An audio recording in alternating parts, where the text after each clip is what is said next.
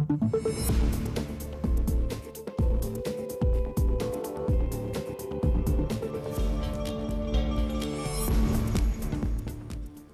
Bonsoir à tous, bienvenue si vous nous rejoignez sur euh, TV7 pour une nouvelle soirée euh, d'infos euh, en direct. Au programme ce soir, c'était attendu depuis plusieurs mois la fin de la production à l'usine Ford de Blanquefort et c'est officiel depuis cet été. Quelques semaines avant la date prévue, l'usine a cessé toute activité. Les salariés sont en colère et toujours en procès contre la direction du groupe. Philippe Poutou est avec nous ce soir pour faire le point sur la situation.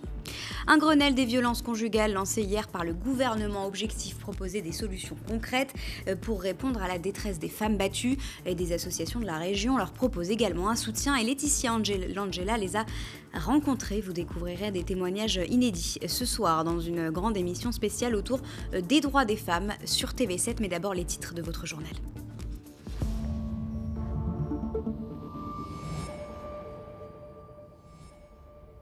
Ce n'est pas une euh, surprise, mais il l'a officialisé aujourd'hui. Vincent Feltès est candidat aux élections municipales. L'ancien socialiste proche de François Hollande et un temps euh, président de la métropole a décidé de se lancer hors du cadre des partis.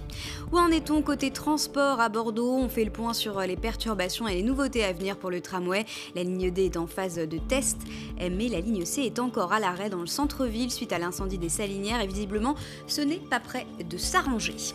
L'Amazonie, au cœur du festival Climax cette année à Darwin, demain et jusqu'à dimanche, euh, l'écosystème accueille une douzaine de conférences sur ce thème ainsi qu'une vingtaine d'événements euh, musicaux, des projections ou encore des événements sportifs. Un coup d'œil sur la météo, un temps qui va rester euh, estival hein, ce jeudi, mais des températures un peu moins élevées. Il fera jusqu'à 23 degrés à Bordeaux demain au meilleur de la journée. politique donc avec euh, Vincent Feltès, l'ancien président de la métropole et aujourd'hui conseiller municipal et métropolitain d'opposition. Il se lance dans la course au municipal à Bordeaux, une candidature qui était un plus ou moins attendue, sauf que cette fois elle présente l'originalité de se faire hors des partis politiques. Les explications de Franck Poirot. C'était un secret de polichinelle, c'est désormais officiel. Vincent Feltès est candidat au municipal de Bordeaux et à la métropole, une collectivité qu'il a dirigée entre 2007 et 2014 sous l'étiquette socialiste. En janvier 2019, il quitte ce parti considérant qu'il n'est plus en mesure de répondre aux défis du temps.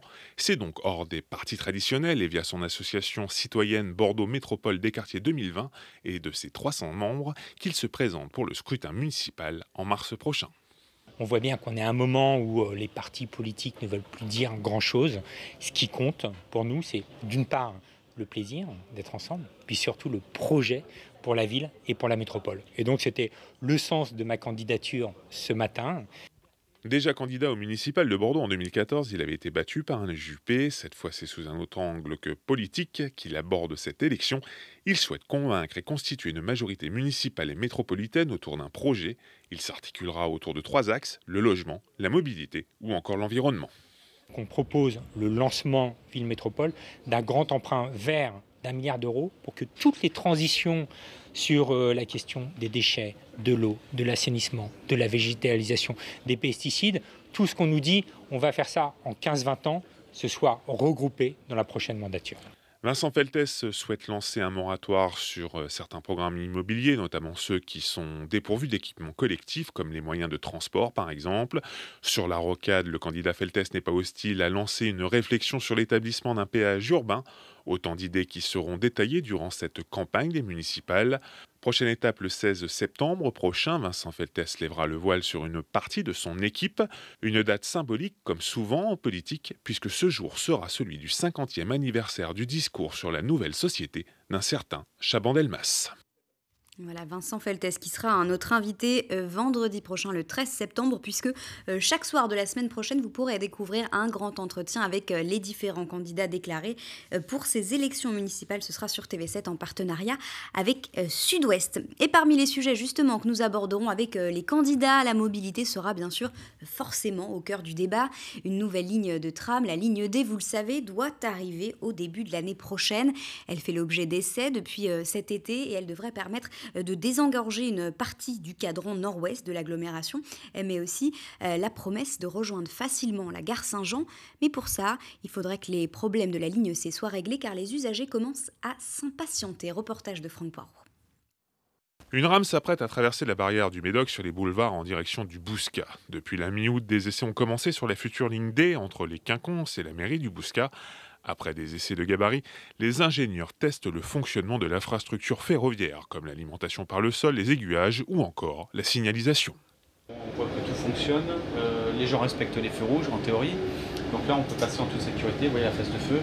Hop, on a le passage euh, pour le tramway. Donc voilà, et ça, cette phase d'essai dynamique, elle va se poursuivre pendant un certain temps pour éprouver un peu le système et s'assurer qu'il est fiable et qu'on peut ouvrir à la circulation la mise en service de cette première partie de la ligne D est prévue pour le mois de décembre. Quant à la deuxième partie de cette ligne entre la mairie du Bouscat et Esine Cantinol, des tests devraient avoir lieu à partir du mois d'octobre, avant une mise en service dans le courant du premier trimestre 2020. Il faudra alors 32 minutes pour relier Esine à la place des Quinconces. Selon les études de la métropole, 50 000 utilisateurs devraient l'emprunter tous les jours. On va desservir le fameux cadran nord-ouest qui jusqu'à présent n'était pas forcément desservi. On va aller chercher à terme, quand on sera à Cantignol, euh, la porte d'entrée du Médoc, avec un parc relais de 625 places, un deuxième parc relais à l'hippodrome qui est un petit peu plus petit, euh, euh, juste à la sortie de la rocade, hein, la sortie 7 de la rocade. voilà, donc on va chercher les gens au plus loin pour les amener au centre de Bordeaux. À terme, cette ligne D reliera la station Carl Vernet, la gare Saint-Jean, les Quinconces avant de prendre la direction des Innes. Pour cela, le tramway utilisera les voies de la ligne C sur les quais de Bordeaux, voies sur lesquelles aucune rame ne circule pour le moment à cause de l'incendie du parking souterrain des Salinières le printemps dernier. Il a fragilisé la structure de béton sur laquelle reposent les voies de la ligne C. De son côté, la métropole espère une reprise du trafic du tramway euh, sur cette ligne dans le courant du mois de novembre. Enfin, du côté de la ligne A, des travaux préparatoires pour rejoindre l'aéroport ont commencé, mais cette extension de 5 km ne devrait pas entrer en service avant 2022. Et par ailleurs, du côté euh, des bus, deux lignes périphériques seront euh, mises en service euh, pendant les vacances de la Toussaint. Et malgré les difficultés de transport hein, qu'il y a eu cet été dans la métropole, 300 000 visiteurs ont été accueillis. Le tourisme se porte bien et l'hôtellerie bordelaise, vous le voyez, dresse un bilan positif de cette saison estivale avec un taux d'occupation des hôtels très satisfaisant. Le stationnement, c'est aussi un des enjeux principaux de ces prochaines élections municipales et nous allons tout de suite euh, nous rendre du côté du Grand Parc où les habitants contestent la mise en place euh, du euh, stationnement payant par les bailleurs sociaux alors que la ville, elle, avait décrété un moratoire sur le passage au payant dans ce quartier. Vous le voyez, Amandine Rancon est sur place avec un des habitants du quartier mobilisé ce soir. Oui, bonsoir Raphaël. Alors on est sur place en effet avec le porte-parole hein, du collectif ici des résidents du quartier euh, Grand Parc, euh, Jardin Public et Chartron. Et ici, euh, c'est quand même, il faut le savoir, 4000 logements. On peut penser à peu près 10 000 personnes en fait qui vivent dans ce quartier. c'est des quartiers où il y a une majorité de logements sociaux, à peu près 80% Et bien sûr, il y a un problème concernant le stationnement. il est devenu payant. Alors vous allez nous l'expliquer. vous êtes un peu en colère, hein, on peut le dire aujourd'hui. Vous avez réuni aujourd'hui des, des gens pour nous dire que vous êtes quand même en colère de cette situation. Absolument. la question du stationnement euh, au Grand Parc, c'est un sujet euh, euh, et, qui crée des conflits d'intérêts entre les, locataires, les, salariés qui travaillent sur la zone, ils sont nombreux, les visiteurs des deux cliniques qui les entourent, et puis les, les usagers du tramway qui viennent garer leur voiture et prendre, prendre le tramway à la station. On comprend qu'il y a beaucoup de monde ici, mais quel est le problème réellement? C'est un problème avec les parkings des bailleurs sociaux? Racontez-nous ça. Pas seulement, pas seulement, mais oui, principalement avec les bailleurs sociaux. La réponse de la mairie était de faire payer tout Bordeaux. Euh, et puis M. Juppé a décrété un moratoire. Ceci étant dit, de leur côté, les bailleurs sociaux, eux, ont privatisé euh, leur parking, les ferment progressivement avec des barrières, ce qui fait que, évidemment, euh, ça soulage certains habitants qui peuvent avoir des places, mais par contre, ça crée d'autres difficultés. Lesquelles ben, D'abord le paiement. Le paiement. Combien c'est à peu près? C'est Alors ça peut aller de 8 euros à 16 euros. Et 16 euros, dans une, par exemple, dans un, en face d'un bâtiment qui est priorité de la ville. Clairement, qu'est-ce que vous demandez aujourd'hui Qu'est-ce que Quel message vous voulez faire passer Alors, on, a déjà fait passer des messages euh, aux bailleurs sociaux et c'est parce qu'on a le sentiment qu'on n'est pas entendu, qu'ils euh, ont une attitude un peu dilatoire, même si c'est très courtois entre nous, et, qu'ils renvoient à de nouvelles discussions, un médiateur, etc. Ce qui fait qu'on euh, renvoie au calendrier grec.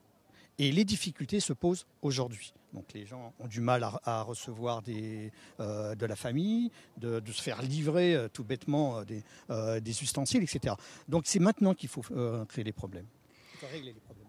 Alors, euh, le collectif va ensuite aller se promener dans le Grand Parc. Hein. Vous allez expliquer justement ces problèmes de stationnement. Vous allez pouvoir le, montrer, que ce soit concret, et puis en espérant eh bien, euh, qu'on trouve une solution euh, rapidement. Voilà, Raphaël, pour tout ce qui se passe ici. Merci beaucoup Amandine Roncon hein, en direct euh, du quartier du Grand Parc à Bordeaux. Vous l'avez compris, un collectif d'habitants euh, s'oppose au stationnement payant mis en place euh, par certains bailleurs sociaux. Et justement sur la route, hein, ne vous laissez pas surprendre. Demain, le pont Chaban se lève pour laisser passer l'Imocar qui est à Paprec, un paquebot qui passe donc sous le pont Chaban entre midi et 13h. Dans l'actualité également, une importante opération de police s'est déroulée ce mercredi matin au camp euh, des migrants de Bordeaux-Lac et qui regroupe une centaine de personnes de différentes nationalités. Une opération qui a suscité euh, l'inquiétude chez ces réfugiés qui redoutent une expulsion euh, générale qui pourrait arriver dans les jours à venir.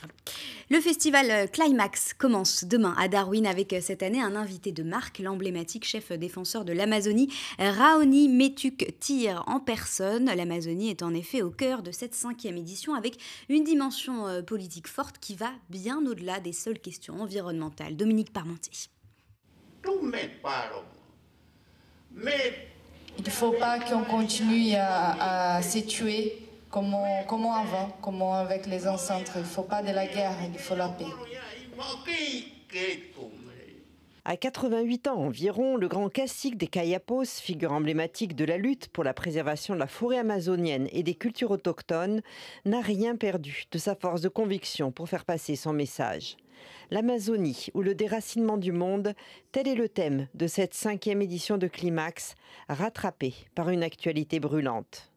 Pour nous, c'était déjà une actualité, le fait que Jair Bolsonaro montait dans les sondages. Nous étions quasiment certains que c'était une extrême mauvaise nouvelle pour, euh, pour toute la planète, pour tous les humains, pour les écosystèmes. Et nous nous sommes mobilisés à ce moment-là pour euh, nous mettre en lien avec l'ensemble des résistances de ce continent euh, et bien évidemment euh, l'un de ses représentants euh, les plus symboliques, les plus puissants, le Cacique Raoni, mais bien d'autres encore. Pour le président bordelais de Mémoire et Partage, partenaire de ce climax 2019, s'y associer était naturel. L'Amazonie est une des premières terres où l'esclavage a été, exercé sur ces peuples autochtones dont nous avons le représentant qui est Raoni. Donc pour nous, c'est tout à fait naturel que ce triangle historique de l'Europe qui va en Afrique chercher des captifs africains et les mettre en esclavage en Amérique, mais que ce triangle, nous puissions le refaire ici à Bordeaux, un triangle vertueux qui montre que nous n'oublions pas d'où nous venons. Objectif de tous les participants à cette édition, tisser des liens entre les cultures et résister ensemble contre la destruction des peuples et des écosystèmes, sans oublier la dimension festive et artistique. Voilà, le festival, un climax qui commence euh, donc euh, demain à Darwin et qui dure euh, toute la semaine. Et cette semaine également, un autre événement important, hein, c'est cette soirée de solidarité pour les salariés de Fort Blancfort, dont l'usine a cessé la production. et Philippe Poutou est avec nous sur ce plateau pour en parler tout à l'heure. Bonsoir Philippe Poutou. Un petit mot peut-être rapidement sur, sur cette soirée de solidarité. On va parler en longueur, bien sûr, de ce qui se passe en ce moment à Fort Blancfort. mais rapidement, pourquoi c'est important pour vous d'organiser ce genre d'événement? Mm-hmm. On va dire que ça a deux fonctions. Euh, vu que l'activité est complètement arrêtée et que ça a été assez brutal, c'est un moment important pour les salariés ou ceux qui le souhaitent de se retrouver, de discuter, puisque nous, on pense que la bataille n'est pas finie. Et puis l'autre fonction, c'est celle-là, c'est on a plusieurs rendez-vous dans ce mois de septembre qui va être un mois de, bataille pour sauver l'usine, parce qu'on a encore un espoir, puisqu'il y a une décision de justice qui doit tomber le 17 septembre hein, de la part de la Cour d'appel de Bordeaux. Donc il n'y a pas de raison de, penser que tout est fichu. Voilà, on va jusqu'au bout de ça. Et donc à côté de ça, il y aura une manifestation, un concert de solidarité le 21 septembre. On fera un rassemblement le jour du jugement. Et puis voilà, puis autour de ça, on essaie de continuer à résister euh, et d'entraîner de, un peu la population parce qu'on est quand même tous concernés par cette question-là. Voilà, Philippe Poutou, vous restez avec nous hein, puisque vous êtes euh, notre invité euh, ce soir. Et juste après la pause, on va parler de la fin de l'activité à Fort Blancfort et de, l'espoir des, des, salariés, des syndicats. Vous allez nous raconter l'ambiance qu'on imagine un peu maussade en ce moment au sein de l'usine. Restez avec nous sur TV7.